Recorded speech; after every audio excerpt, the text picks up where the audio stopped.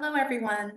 OCHA Center for Humanitarian Data is very pleased to welcome you to this HDX dataset deep dive on the Relative Wealth Index. Please note this event is being recorded. My name is Suji, and on the center's behalf, I'm very pleased to introduce the first of our four presenters. The center's HDX data manager, Metasebia Salu, now has the floor to start our session.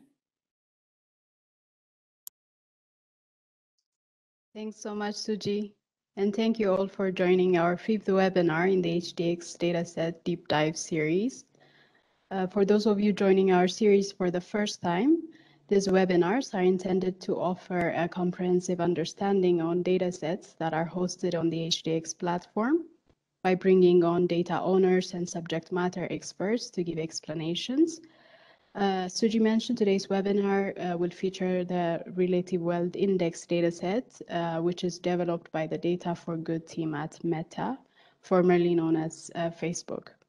So we are very pleased to welcome our presenters uh, today, Laura McGorman, Public Policy Manager with Data for Good at Meta, Alex Pompe, Research Manager, also with Data for Good at Meta, Joshua Blumenstock, Associate Professor with the University of California, Berkeley. Once again, welcome. We're very excited to have you with us today. So to get things started, uh, next slide, please. Uh, let me quickly walk you through uh, today's agenda. Uh, so I'll start by giving you an overview on the HDX, uh, on the center and the HDX platform. Uh, Laura will give us an overview on the tools and data that are made publicly available by the team at Meta. Then Alex will take us through an in-depth uh, look into the Relative Wealth Index dataset. Finally, Joshua will showcase some of the real-world applications of the Relative Wealth Index dataset. And after these presentations, I'll come back for, for the second part to moderate the panel discussion where we will have time to address some of the questions or comments coming from you, our audience. So please continue to use the chat box to leave us your questions or comments as the presentations progress. Okay, next slide. OCHA Center for Humanitarian Data was established in 2017 in The Hague with the mission to increase the use and impact of data and humanitarian response um, next slide. The center's work focuses on these uh, four areas. In data services, we work to increase interoperability through data standards and integrated systems. In data responsibility, we work towards increasing trust and cooperation across organizations sharing data. In data literacy, our focus is in increasing uh, capability of people to access and use data. And in predictive analytics, we work around developing new predictive models and supporting or peer reviewing partners, partners models. And in particular, it's worth mentioning here uh, the work on anticipatory action and the center's role uh, supporting OCHA's, uh, OCHA and partners in getting ahead of a shock and mitigating its impact. So uh, share, the, the link will be shared in the chat for further information on the topic. So the HDX or the Humanitarian Data Exchange is an, an open platform for sharing uh, humanitarian data across crises and organizations. We had over 1.3 million unique users coming to the platform in 2021. Our database currently hosts thousands of data sets uh, coming from different sources and organizations, of which 298 are actively sharing their data. So for more on HDX, uh, next slide, please. Uh, I invite you to take a look at this uh, year in review blog by the Center's Data Partnership Team Lead, Javier Teran, which was published beginning of this year.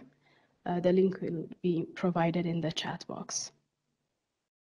In addition, I also invite you to sign up to share data and join the growing HDX community. And of course, if you have difficulty getting started or finding data on the platform, you can reach out to us via our email hdx at humdata.org. Okay, so moving on, uh, before I give the floor to our speakers today, I'd like to quickly highlight one of our products, the data grid. The main goal of the data grid is to present what critical data is available and missing in different crisis locations uh, so that all of us can be more focused with data sharing and outreach. Uh, what you see on the screen is the data grid page for Afghanistan, where availability of data sets across six categories and 21 subcategories is shown. And I'd like to mention here, the center's yearly State of Open Humanitarian Data report is coming out end of this month and will contain detailed analysis on the data grids. So I invite you to follow the center's website for updates on that. So with that, and with no further delay, I give the floor to Laura to take us through the tools and data from the Data for Good team at Meta. Laura, the floor is yours. Thanks so much. Um, it's wonderful to to be able to present with the Center for Humanitarian Data, and I'd just like to start by uh, expressing my gratitude to the whole community at OCHA and the Center for Humanitarian Data for the partnership we've had to date. To share a little bit about our partnership with OCHA, we have been working for the past several years to make HDX one of our primary vehicles through which we share publicly available data. The Data for Good program at Meta is somewhat unique in that we have a number of tools that are available through license agreement, but we have many more tools that are fully publicly available and open source for any humanitarian, government, or even commercial entity to use. And I'm going to spend just a few minutes walking you through some of our most popular data sets that you can access right now on HDX before we do a deep dive on the Relative Wealth Index. Our most popular tool by far are called high resolution population density maps. These are tools that are built with primarily satellite information, satellite data, as well as census information. And what we do is we identify structures in the satellite imagery, which we've purchased for the entire world. And using the identification of structures, we're able, able to estimate at a 30 meter resolution how populations are distributed across a country. And this is incredibly helpful because for any of you who are, who are sort of super users of census data sets, you may find that it's not sufficient to know that there's potentially 10,000 children under five in a particular ward or a particular municipality. When you're going house to house to deliver vaccines or when you're trying to determine what villages might be vulnerable to flooding, it's really important to know the exact distribution of where people live. And so our population density maps were downloaded several hundred thousand times from HDX last year, and they were also accessed through AWS nearly 5 million times last year. So if you if you're feeling like I don't know where to get started with Data for Good at Meta Tools, we strongly recommend you take a look at our high resolution population density maps as a start because we find that almost every decision that public policymakers or humanitarians around the world are, are taking a look at does need to be informed by accurate population estimates. Uh, one of our other most uh, popular tools on HDX are called movement range maps. These are daily updated statistics on human mobility that have been primarily used in the context of COVID-19 to estimate the rate at which populations are generally staying home and changes in mobility at a subnational level compared to a pre-pandemic baseline. These tools have been used widely by governments around the world to monitor and measure the effectiveness of lockdown orders, but they've also been used in other ways. We find that mobility is a readable and really uh, multi-purpose tool so for example, there was a recent paper done by CSIS in Indonesia that used our movement range maps to proxy GDP in certain Indonesian regions. Uh, looks like mobility can be sort of a, a leading indicator of commerce. And we've also seen a number of people use it to estimate the growth of certain transport infrastructure in Europe. So a wide range of applications, most primarily focused again on sort of mobility as it relates to COVID-19 stay-at-home orders, but a wide range of, of ways to look at that data as well. Thirdly, we have a tool that's also very popular called the Social Connectedness Index. This is a pretty uh, bespoke tool that only really a social media company like ours could release. And this is an international index of the density of friendship ties across subnational areas around the world. So we could be looking at friendship ties between New York City and San Francisco, but we could also be looking at friendship ties between Bogota and uh, Eastern Europe. And so, what has been really interesting about the release of this data set that has been live for about two years is that we also find that social connections are a really fascinating covariate and proxy for a bunch of things. This includes things like cross national trade, cross national financial flows and lending, as well as even things like COVID 19 transmission.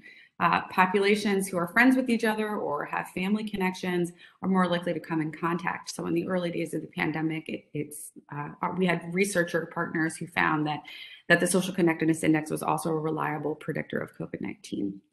And so while we'll focus the majority of today's session on the relative wealth index, which was another one of our fully public and available right now tools on humanitarian data exchange, I look forward to members of this call also exploring our other tools. And again, appreciate very much the partnership with OCHA and the Center for Humanitarian Data to date to help reach uh, the right audience with the right tools, hopefully to inform humanitarian response and public policy making around the world. And with that, I'll pass it to Alex Pompe to jump into the Relative Wealth Index and how we built it.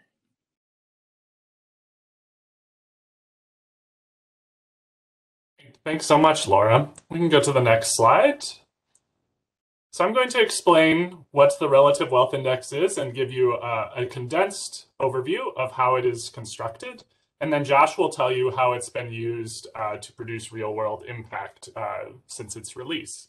So our problem statement that we're trying to solve by building this data set is to better understand how wealth is distributed over space or how we might be able to compare wealth distribution within a country. Next slide. Now, to, to give you a preview, this is what the data set looks like. Where there's only five columns, so hopefully you're not getting scared yet. Those first three columns uh, are just des describing where on the Earth's surface we are going to measure the relative wealth index. So a quad key is like uh, an address you can think of that describes a grid tile or a square on the Earth's surface. In this case, it's around 2.4 kilometers square in size. So pretty high resolution. And then we also provide the, the centroid, the latitude and longitude coordinates of the center of that uh, tile square. And then we give you two different values. Our relative wealth index estimate for that tile, it's a number between negative 10 and 10. The smaller the number, the more we estimate that there's poverty concentrated there. And the larger the number, the more we think wealth is distributed there. The vast majority of relative wealth index values are between negative 2 and 2. There's a long tail that can reach all the way to negative 10 to 10, but you'll notice that many of the values cluster near zero. And then since this is uh, an estimate using uh, a, a, machine learning model, we also can uh, produce our the error, the, the uncertainty we estimate around this relative wealth index prediction. Next slide. So if you really, you have to get running and you just want to jump in and start playing with the data while I tell you about it, you can find it here on the Humanitarian Data Exchange. Um, the, we can drop the, the link is in the chat already, or you can scan the QR code and you can download over 100 different countries, or we have a package of 93 low and middle income countries if you want to, to really dive in deeply. Next slide. So a relative wealth index isn't something we invented. It already existed and was developed out of the, the US Agency for International Development, USAID's Demographic and Health Surveys, which is a long-standing household survey um, it takes around 90 minutes to administer. There's a lot of different questions, and a variety of them uh, would be predictive of the wealth of that household. Questions like, do you own a television? How are you cooking? Is your floor made of dirt? And do you have electricity? And so anytime the answer to that question would indicate wealth, we add a positive number. And anytime the answer to one of those questions indicates poverty, we add a negative number. And we add up the, the sum of all of those answers, and we get a relative wealth index value between negative 10 and 10. And the DHS surveys have been administered in many countries over many years, but it hasn't been administered to, to ev everywhere. it hasn't been administered to every household. So what we're trying to solve for is let's predict what the result of this relative wealth index questions would be if that survey had been administered in every 2.4 kilometers square tile on the Earth's surface. And we're going to, I'll explain to you how we're going to make that prediction. Next slide.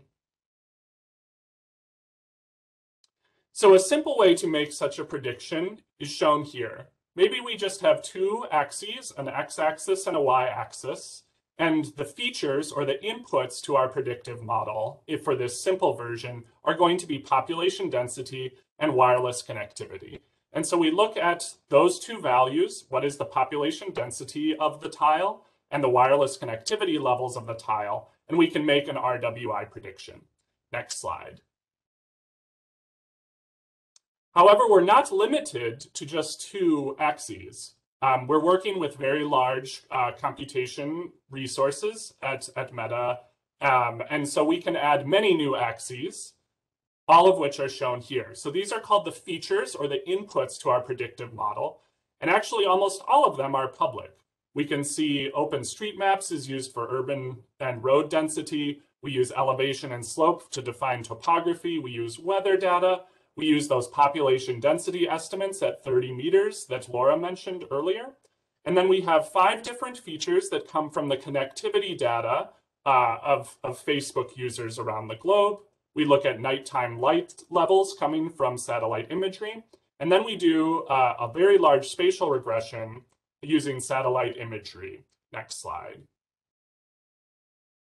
And we're being a bit cheeky here because this satellite imagery feature isn't just one axis. It's actually many thousand that we reduce down and use around the top 250 or so. So let me explain how we do that because this is the main contribution that Facebook made alongside uh, all of the other work that was primarily from UC Berkeley. Next slide. So what you're seeing here is our satellite imagery layer. It's a cloudless mosaic um, purchased from Maxar. And so what they do is put together different pictures from the Earth's surface taken from space um, from different dates to show you what the Earth would look like from above if there weren't any clouds. And we need to be able to see through those clouds um, for what I'm going to describe. Next slide. So what we do is we break that Earth's surface into the 2.4 kilometer meter tiles. Um, so then we have a bunch of smaller images or like pixels in our image, and you can see those on the left. And then what we're going to do is train a different uh, machine vision algorithm that's going to look for kind of shapes. How many parallel lines are there? How many squares? How many angles? And this machine vision algorithm learns how to uh, extract many, many thousands of different shapes. And then it combines them together using a technique called principal component analysis to really uh, reduce down this complexity and what you can think of this is, is that we're trying to measure with this machine vision capability how much infrastructure and how much influence humans have had on the natural environment. And this can be detected by looking for ever increasingly complex shapes. So the more complex we complex shapes we extract from the imagery, the larger that positive value will be to our relative wealth index prediction because we expect that there's more wealth distributed there due to the infrastructure. Next slide. So here is uh, a graph from a paper that we'll drop the link to in the chat. But what is the predictive power of each of those different axes, each of those different features into our model? We can zoom into the top, next slide, just to make it a bit clearer.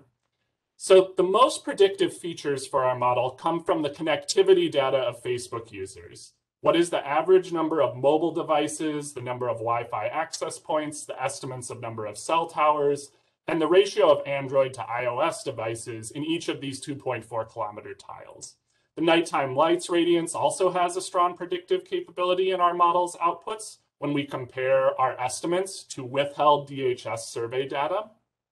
And then all of these satellite PC components, those ones in gray, each one is very small, but we have over 250 or so, the top uh, ones that add in each case a little bit stronger, a little bit extra predictive capability. So when we look at all 250 of those in the long tail of contribution, they add up to be quite meaningful. Next slide. So the fun part is looking at all of this data on a map. I'm going to move quickly because Josh is going to go into more depth, but here's our relative wealth index. The more orange an area is, the more we estimate there to be uh, wealth distributed, and the more purple, the more poverty. And the height of the bars, uh, in this case, is the population in each of those 2.4 kilometer tiles. Next slide. We see here the full 2.4 kilometer resolution available for Mexico, the same color gradient codifying our predictions. Next slide. Zooming in, you can see those 2.4 kilometers square tiles, and you notice there's some empty ones where we just see the satellite imagery underneath. And that comes from whenever there's, um, we predict there's fewer than 50 people living there, we remove our prediction to protect privacy. We, this is not trying to estimate household levels of wealth. It's a, a more spatially aggregated prediction of wealth, and we want to make sure that privacy is protected. Next slide. India's looking very beautiful. Next slide. And so is Indonesia. So I think with that, it's time to, to get to the exciting part and let Josh tell you how this data has been used starting in this region of the world in the Niger River Delta. Over to you, Josh. Um, I wanted to start by giving some perspective, um, which is just highlighting the fact that while the COVID pandemic has been really disruptive everywhere, it's been particularly devastating in low and middle income countries where the most recent estimates from the World Bank suggest that around 100 million new global extreme poor have been um, thrust into poverty since the beginning of the pandemic. It's really the first increase in global poverty since um, 20 or 30 years ago. Now, there's also been a massive humanitarian response um, by organizations such as OCHA, um, where if you look at a global, from a global perspective, there's been over 3,000 new targeted assistance programs that are providing benefits to almost one fifth of the world's population. Um, total budget over a trillion dollars. But the issue I want to highlight is that all of these targeted assistance programs um, face this challenge, which is the challenge of targeting, which is the question about how do you identify which populations should be eligible for the limited assistance that exists. Um, and if you look at low and middle income countries, the issue is that a lot of governments and humanitarian organizations lack the data they need to make these very difficult decisions. So this table is highlighting just how long it's been since um, national censuses were conducted in several different countries, where that is really the, the, the style of data that you want for a targeted social assistance program. So that's stepping from the macro down to like a very specific use case where we've been working very closely and, and this relative wealth index has come into play. Um, I, I want to just draw everyone's attention to, to the country of Togo, the small um, nation of about 10 million in West Africa. And so right at the onset of the COVID pandemic, just as they were putting in place the, the lockdown orders that stopped people from working, and so this led to a rapid increase in food insecurity, um, the government launched the Novisi program, where Novisi means solidarity in the local language. Um, to date, there are about a million beneficiaries. It's a digital program where you register using your mobile phone and you receive a payment via mobile money. So there's no real face-to-face interaction involved in this particular social assistance program.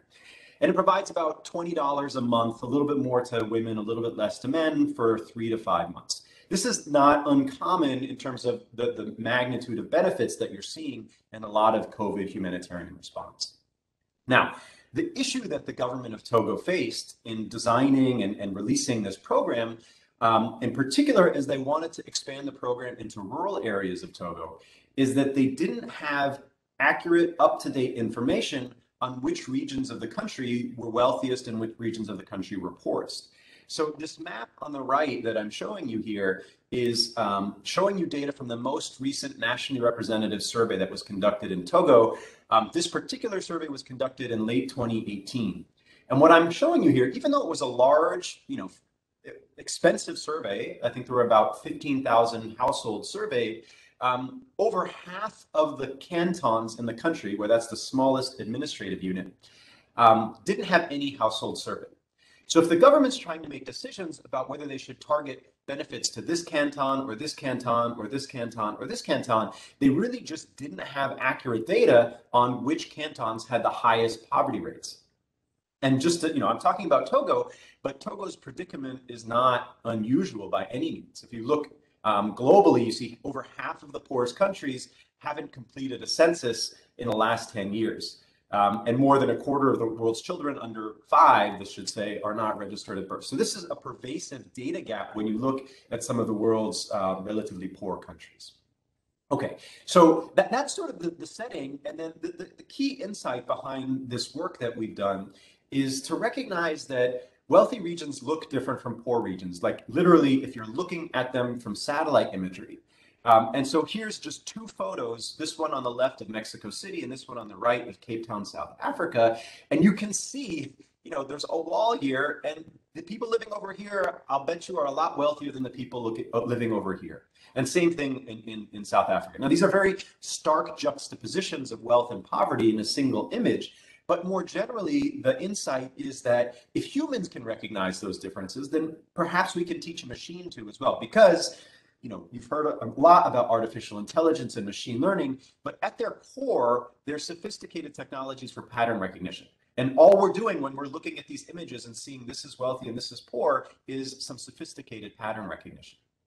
So I won't go into the details. Alex talked a little bit about some of them. Um, I, am happy to talk more about them during the Q&A if, if, people want a, a, a little bit more information on how it actually works. But the idea is you take granular satellite imagery, as well as other geospatial data, such as de-identified connectivity data from Facebook, information on road density and so forth. You pass it through these machine learning algorithms, and on the other end, you get for every single image, so these are 2.4 square kilometer images, you have an estimate of the relative wealth of that particular pixel or grid cell on the map of the, of, of the world. And so, you know, that's how it works actually what we spent probably more time doing than actually building these estimates was validating these estimates using independent data. And this is really important because there's a lot of concern that you might be overfitting your algorithm or there might be sort of shortcuts you're taking. And so what we did is we worked with four different organizations that provided us with data that was independently co collected. And we use that independently collected household survey data to say, okay, if we look at this data collected by the government of Nigeria, which had nothing to do with the production of the map. We say, does do, do our poverty maps constructed from satellite imagery reflect the ground truth according to the government of Nigeria's most recent nationally representative household survey? And so we do this in 18 different countries. I'm just showing you two examples here, Nigeria on the right, Togo on the left. And what we see is that if you look at the wealth of specific villages as estimated from um, you know, ground truth, nationally representative household survey data. And if you compare it to the estimated wealth based on our satellite-based estimates, the relative wealth index, there's a, a, a very high correlation.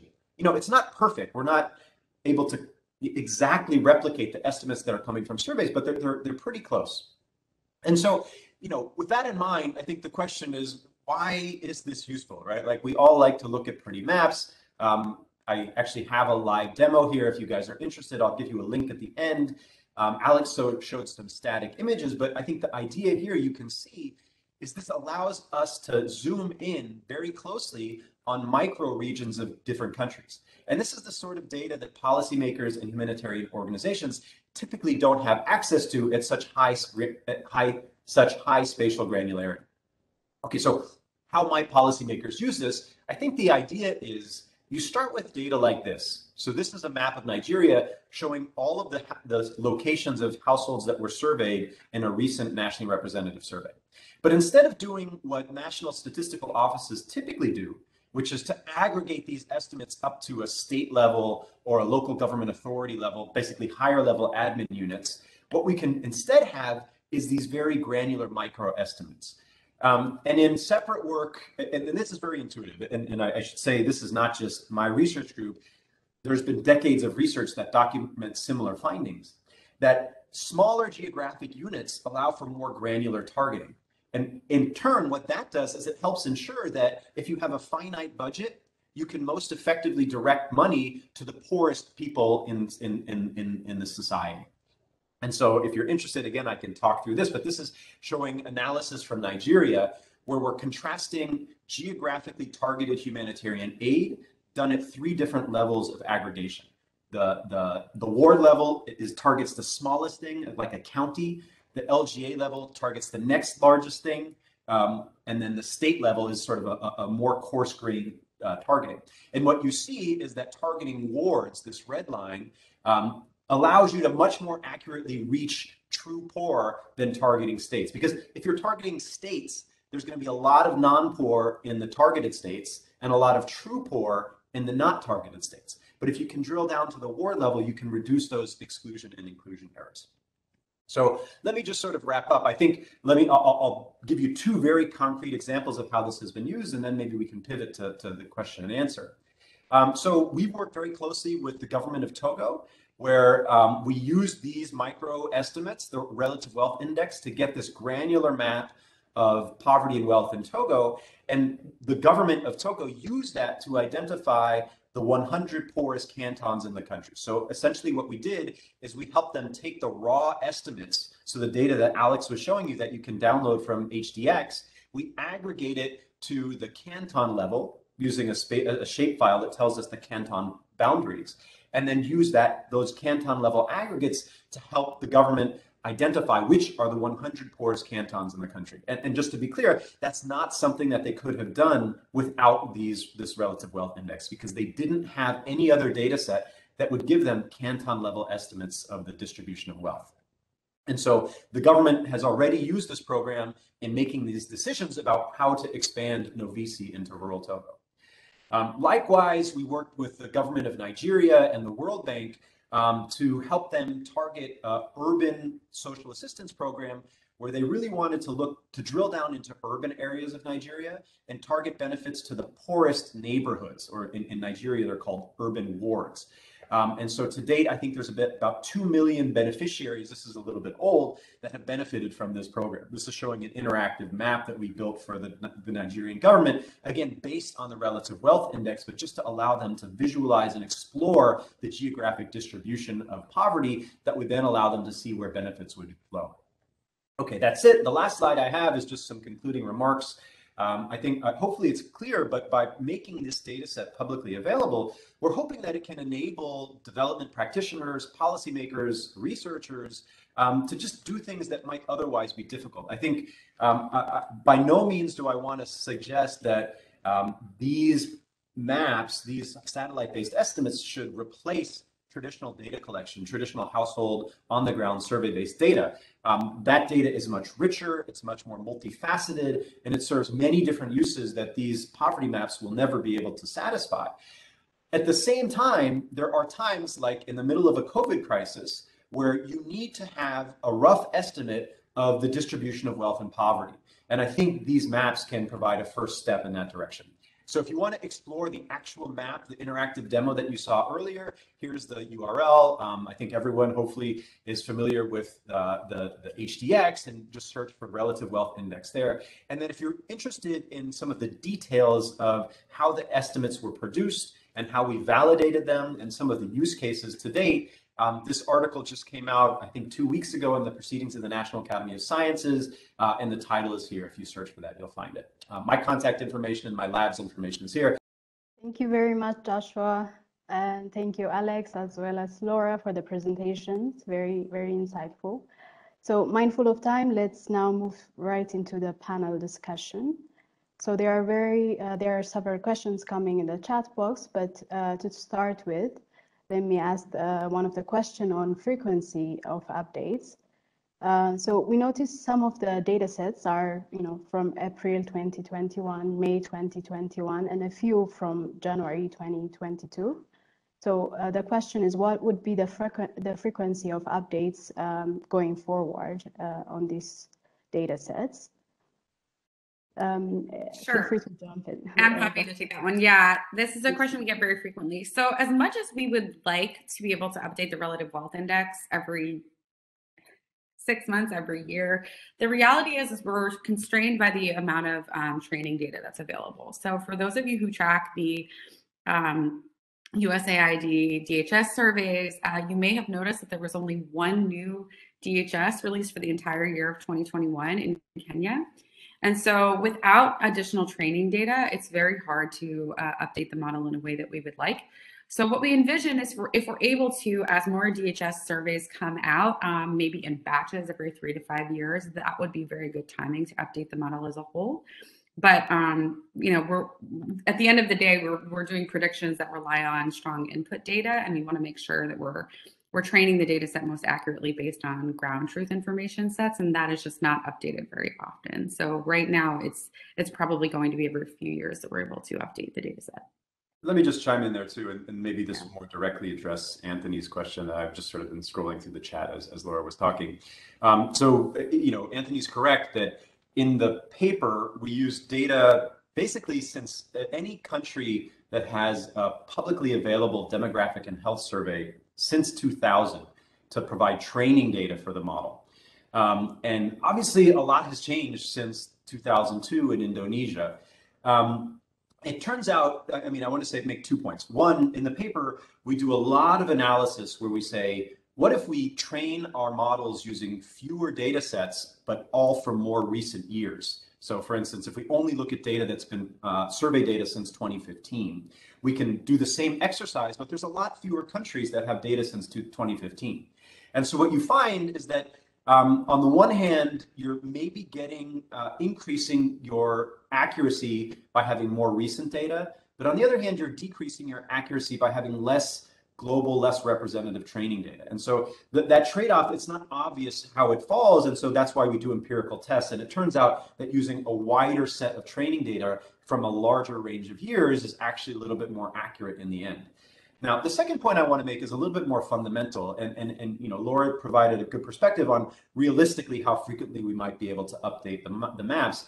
Um, but I think it's important to keep in mind um, what that means, right? The fact that we're training these models using two decades of data, it means that what the model is capturing is is something more like permanent income or the you know the the, the stable constant spatial distribution of relative wealth and poverty rather than sort of dynamic responses right? Because if you look at the global distribution of wealth and poverty some of it is static and it you know it doesn't change a lot over time and some of it is dynamic. And there's been a lot of research on poverty dynamics and poverty stases but what these maps are catching is much more the static distribution of, of, of wealth and poverty. And so, you know, I think that should inform the sort of use cases. Um, if you if you want to know, for instance, there's a, a massive uh, uh, natural disaster in location X whose income has changed most as a result of that natural disaster, these maps are not the solution. What these maps will tell you is, you know, in the 10 year period before that crisis,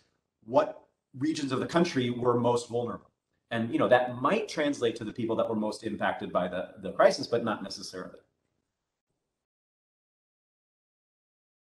Great, thank you very much for that. Um, so the, the second question is on uh, poverty. There is, you know, data from the World Bank and the Oxford Poverty Humanitarian Human Development Initiative, which uh, which are both available on HDX. Uh, so how does the relative wealth index uh, compare to such types of uh, institutional poverty indexes? Maybe uh, Laurie, want to take that? Sure, I'll answer quickly, but then uh, Josh, please also jump in. So I think um, there are a range of, of differences. I think one of the things that I find most distinct about the relative wealth index, somewhat akin to our population density maps, is the granularity of estimates. So 2.4 kilometer resolution is much more granular than typical other poverty estimates. And so if you're using the relative wealth index as compared to other sort of household surveys that might be aggregated at the municipality level or the ward level, as Josh mentioned during his presentation, you're able to capture a larger share of the truly poor population. Um, some of the work that Josh has done in, in Nigeria, I think, is a good example, where through the targeting exercise using sort of household data alone, you might have assumed that a state like Kano State was sort of sufficiently high income to not have anybody in that area be eligible for the program. But if you actually use tools like the Relative Wealth Index, you'll find, as many of you who work across the developing world know, there are pockets of poverty. You can have very small neighborhoods, even within a rich state, um, that have truly poor people that should be considered eligible for social protection programs. And so for me, that's kind of my favorite differentiator. In addition to all the cool non-traditional satellite imagery and connectivity data that we use as an input at the end of the day from a user perspective, I think it's the granularity of targeting that it enables. I don't know, Josh, if you have more to add. Um, I'll just jump in briefly. So um, as we were constructing and validating this data set, we, we spent a lot of time doing an inventory of other data sets that were available other than the demographic and health surveys, like the, U, the MICS data set or some of the World Bank data sets or census microdata data sets. Um, and we made a decision to, to train the model using the DHS because it was the most globally available data set. We, had, we were able to get DHS data from 56 different countries.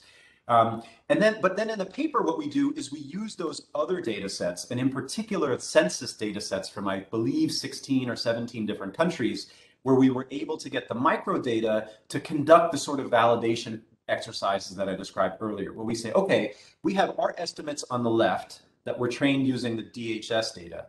We can construct, we, we can't construct micro estimates using census data or MICS data because you don't have sufficiently granular geographic information in those data sets.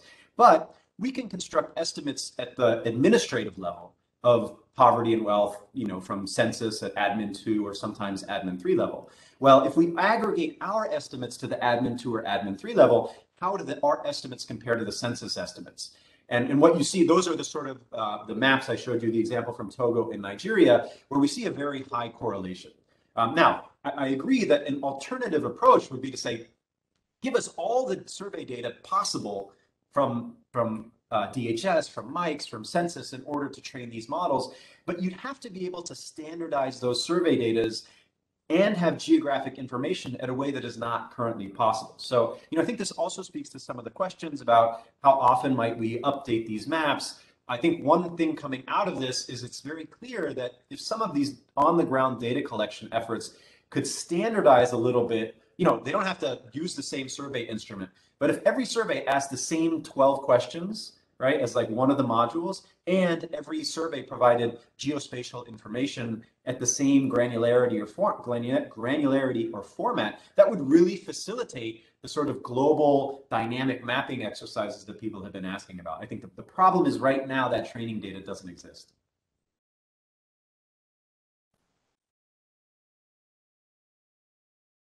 Yeah, thank you very much for that, uh, Joshua. So there's one question coming from the audience, and uh, it's on, so the relative wealth index works well when compared to towns, uh, rural areas, or between cities in a country. Uh, but how does uh, how well does it work for comparing different neighborhoods within a single or a, a large city? Yeah, I mean, I think this is a question where I, I keep, hate to keep saying this, but I would sort of refer you to some of the details that are in the paper because I, I think there's a, a key point here that I support 100%, which is that a lot of the accuracy in these models comes from being able to differentiate between, you know, wealthy, truly wealthy, which are often in urban areas, and truly poor, which are often in rural areas. But we do a lot of analysis that compares specifically within rural areas and within urban areas um, in particular through some of the validation exercises that I talked about earlier. And as expected, the you know the the predictive power, like the R squared values that we get if we only look at rural areas, are not as high as if we look at the entire nation as a whole. But they're still you know above you know you're explaining more than 50% of the variation of wealth it's not 80% like it is in, when you're looking at the entire country but it's also still useful at least for certain applications and use cases Great. So uh, continuing from that, use cases, um, there's a question if there has been, you know, other use cases that you have seen the relative wealth index being used in some other way or context besides the examples you presented uh, earlier.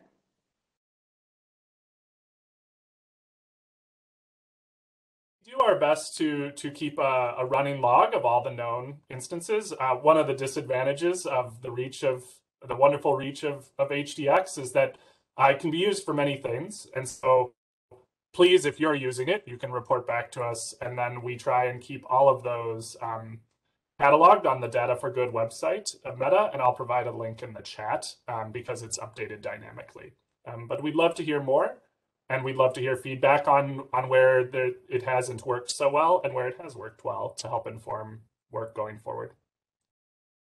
I, I, don't have a lot to add. It also it is sort of publicly available, which I think is was always our intended goal. I get idiosyncratic emails like one off where like someone says, "Hey, I saw your name on this paper. Can you tell me more?" And and you know from those emails, I can tell that you know the World Bank is using it. Um, different organizations within the UN are using it, uh, and a lot of researchers are using it that are sort of doing this sort of work that I do.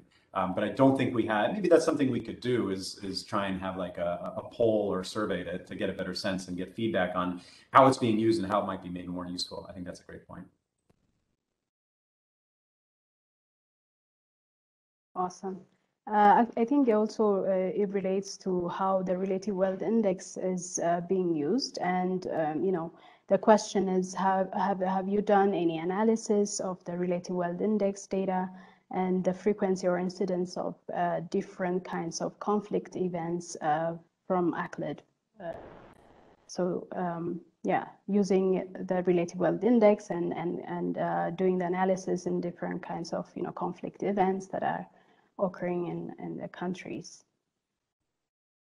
I mean, I'll just speak from myself and my group. We haven't done any of that analysis, and I think it would be very interesting. And I think the hope is by making this data available to researchers, it will enable that sort of analysis. I think the focus of this effort was really just on constructing and validating these micro estimates and making them publicly available. And then the hope is that it will sort of provide the foundation for other work exactly like the, the one you just described. But to my knowledge, no one has yet done that. Yeah, plus one. Uh, it's like it was mentioned earlier in the natural disaster context it, it isn't anticipated this would that wouldn't be the first application we'd look for to see perturbations at that uh, time granularity for for this type of data set. Can it inform responses to conflicts? Certainly uh, especially in areas where it would be logistically or, or cost prohibitive to, to field more traditional but surgical household level measures uh, of wealth and, and, and poverty. Um, so it, it's kind of a, a smeared available global layer it doesn't replace those things, um, and it also wouldn't replace the the time granularity that that some of those more traditional elements might be able to give you. Awesome, thank you, Alex. So uh, an audience uh, asking question whether there is a place where we could uh, get directly the relative wealth index aggregated at the smaller admin unit level, uh, COD, shared on, on HDX. And these uh, CODs are administrative boundaries and population uh, statistics that humanitarian partners endorse and agree to use in, in country. So um, yeah, the question is, can we get the relative wealth index at those uh, uh, aggregation, disaggregations? Presently, um, we just have the, the, the grid tiles. They're, they're, the tiling used is, is called a Bing, uh, Bing tile, um, and that's what the quad key address corresponds to. Um, we know that that's not the most common feature. It's um, very useful for computational efficiency um, for, for generating the and, and having all of these different features go in. So it's kind of a residual of, of that limitation. But they are quite malleable, if not the most popular. Um, they're very similar to traditional raster data. And I provided a link in the chat of um, using open source tools, how you can aggregate to, to GADM, GADM polygons for administrative units. And so maybe that gets things going. We don't necessarily have plans to start aggregating to a wide range of different administrative polygons that, that kind of could quickly become a rabbit hole. So we hope we provided a base layer but let us know if, if something is urgently needed. Um, we could work on the tutorial, um, figure out what uh, we do like to try as much as possible to to take that computational burden of, of aggregations at, at this global scale and put it on ourselves where we have a lot of computational resources uh, at the company. So we're open to, to considering it.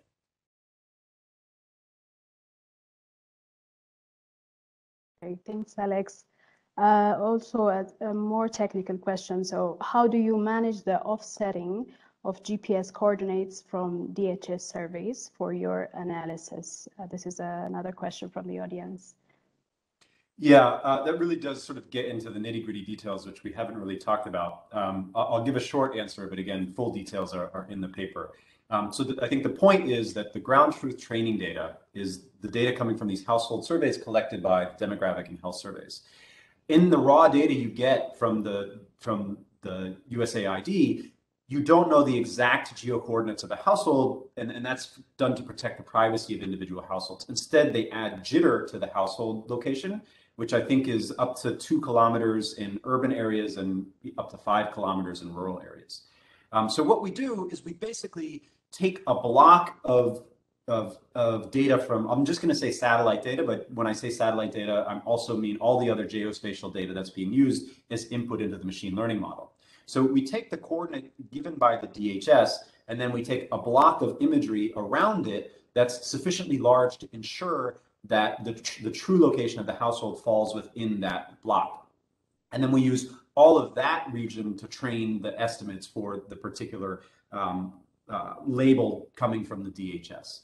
It's also partly why the final estimates we're providing are at the 2.4 square kilometer level. So it's technically possible for us to construct estimates down to the 30 square meter level or even smaller. But you know, the two reasons why we don't do that, one is what I just talked about. It's the there's a lot of noise in the training data. So there might be it might be a little misleading to suggest that we have estimates that are that granular. And second, we're concerned about the potential implications to, to, to privacy of revealing the estimate of wealth of a very specific location that might just be a single compound in, in a rural village. Um, it's a good question though.